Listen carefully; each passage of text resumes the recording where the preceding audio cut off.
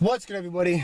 It's your boy J Rock over here at J Rock Fitness, and uh, I was gonna make a chest and arms day for the um bleh, shoulders and arms day video for y'all, but surprisingly, there was a lot of people at the gym today. It's Christmas Eve. I expected nobody to be there, but there's a lot of people there. I ain't hating. That's what's up. People making gains. So instead, today I'm gonna make another car confessions. All right. So let's get right into it. Um.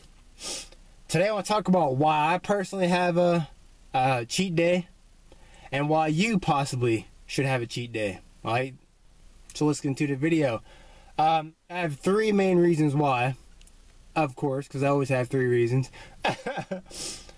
so let's get into, get into them. Uh, first reason why I personally have a cheat day and why you possibly should have a cheat day is that cutting becomes boring, it becomes mundane, it becomes fucking annoying as shit. So uh, having a cheat day just takes your mind off the shit, man. It, like it, it eases it eases the whole fucking process of cutting. Cause again, cutting is annoying. It's mundane. It's boring. It's fucking uh, aggravating. All right, when you're sitting there, gotta you gotta make sure you're getting enough protein, fats, and carbs, and blah blah blah blah.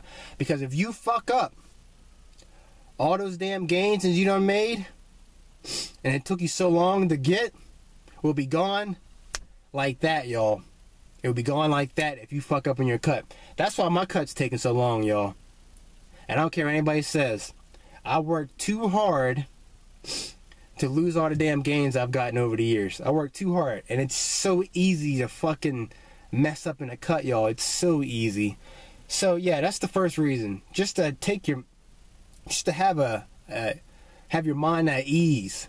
All right, it puts your mind at ease having a cut day. Like you don't gotta fucking be so stressed out because it, it's fucking stressful. You're like, did I eat this? Did I eat that? Did I eat this? It becomes pretty fucking stressful, y'all. All right. All right. So that's the first reason.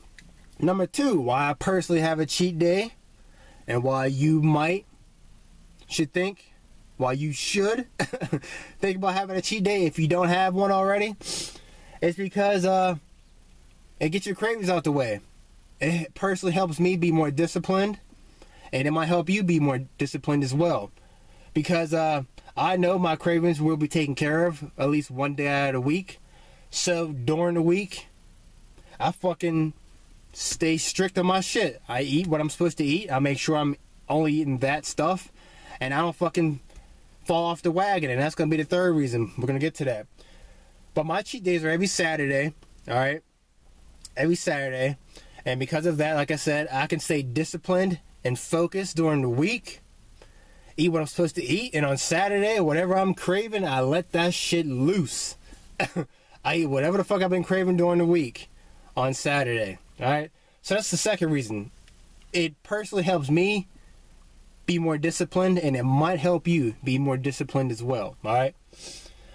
All right. And the third reason I brought it up, falling off the wagon. All right.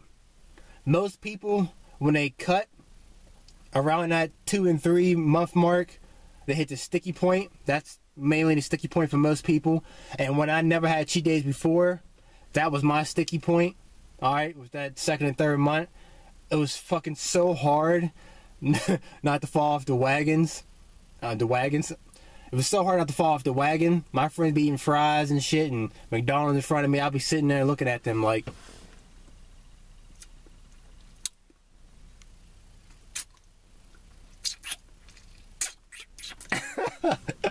that's how the fuck I was looking at them when they were eating shit in front of me, my family and shit.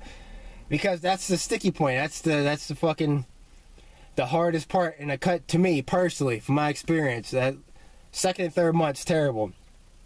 So now I ain't like that. I'm not like that at all. Like I know I'm fucking going to have a cheat day whatever they just ate in front of me, I'm like, all right, I'm gonna eat that same shit on Saturday. So I'm good. Before my family used to piss me off because be sitting there eating in front of me and laughing, ha ha ha ha, you can't eat this. Now I'm like, all right, I'm gonna eat that shit on Saturday, so kiss my ass. so yes, y'all. Um, personally, having a cheat day has kept me from falling off the wagons. It's been a whole lot easier to cut, to be honest. And um, it might be easier for you. If you don't, again, if you don't have a cheat day, it might be easier for you to cut and successfully cut. Because a lot of people fucking quit when they're cutting because they hit this, that sticky point and they eat a, they slip up and eat a fry or some shit, and the next you know, they're fucking done. They're like, you know what? Fuck this cutting shit. I'm eating whatever the hell I want to eat. I'll be fat for life. so YOLO, that's what they hit. They hit you with the YOLO. Only live once. That's what ends up happening, y'all. So um, if if you're struggling with cutting, try having a cheat day you might not fall off the wagons. It might increase your chance of not falling off the wagons. It might increase your chance of doing this shit through and through, finishing out your cut and hitting your goal, y'all. All right. All right, that's the video, y'all. Um, to my subscribers, Merry Christmas. Uh, to anybody who sees this video and you're not my subscriber, like and subscribe if you like the content. All right. And also to you, Merry fucking Christmas. And that's it, y'all. That's it. I uh, hope my advice helps you. Uh, I hope my personal experience helps you.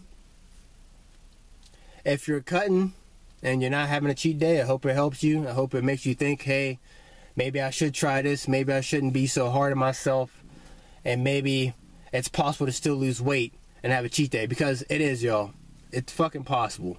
I already lost 25 pounds. Over the years, I've continuously lost weight even though I've had cheat days because I've been doing cheat day for the past uh, two, three years now. So, yes, very possible to lose weight while you have a cheat day. And all these people, fucking all you health nuts going, oh, no, uh, no, you can't. Yes, fuck you can. Fuck you. And all you people sitting there saying, oh, well, I gain weight just by looking at food. So why would I want to have a cheat day? That's bad news for me. No, please stop. Like, you're not gonna gain five pounds from one fucking day of bad eating, peeps. You're just not. It's not physically possible for you to gain five pounds from having one bad day of eating. It's just not. You might gain a pound, and if you ate a whole lot of sodium and shit, that pound's probably fucking water weight, to be honest. It probably is. So, like, relax, peeps. Relax, okay? You can have a cheat day and still hit your cutting goal, y'all. It's possible. It's possible. All right. Again, like and subscribe if you like the content. If not, you know what I like to say. It is what the fuck it is, y'all. It is what the fuck it is. J Rock Fitness. Again, Merry Christmas, y'all.